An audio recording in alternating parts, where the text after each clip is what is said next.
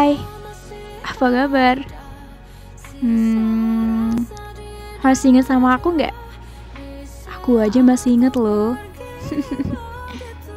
Tapi ya, nggak apa-apa juga sih kalau nggak mau inget.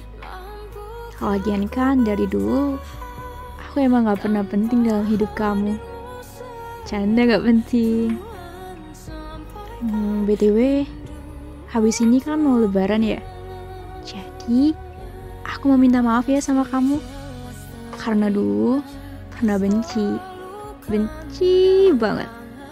Ya walaupun kamu gak salah sih. Akunya aja yang kegeeran. Okay, the point is I'm sorry. And yeah, finally I can forget you. And I hope not for temporary, but forever.